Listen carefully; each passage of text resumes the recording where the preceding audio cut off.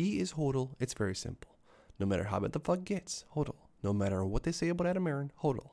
No matter what they say about the movie theaters, HODL. You've already done your research, right?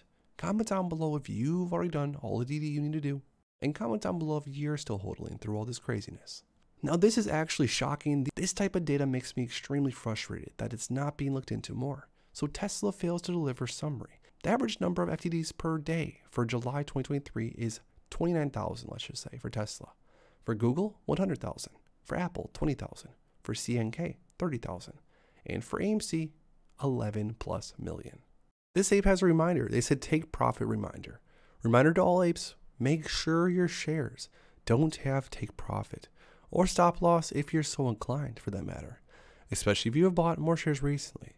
A lot of brokers have profit set automatically on new shares. No chance I'm selling at any of these prices we've seen to date. Not financial advice, of course.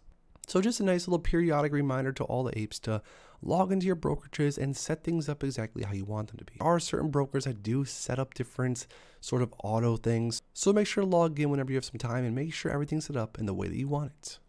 This ape says never underestimate the power of FOMO, fear of missing out. And with everything going on right now surrounding the AMC and ape, the FOMO is definitely going to kick in. And we are going to see volume like we saw many, many months ago. You want to get in before it hits ideally.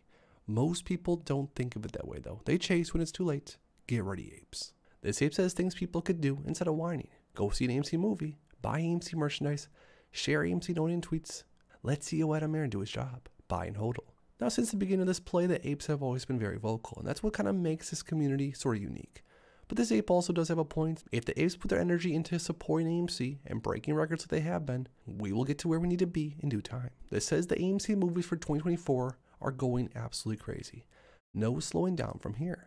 And this is the movie calendar. Let's go through a few of them. You can see that in, in 2024, there's going to be some massive, massive movies. There's no slowing down anytime soon. The calendar movies that are already announced, already out, just tells us all one thing. More massive numbers ahead and more records to be broken. Make sure to check out all these other videos to catch up on all the latest AMC stock DD and information you need.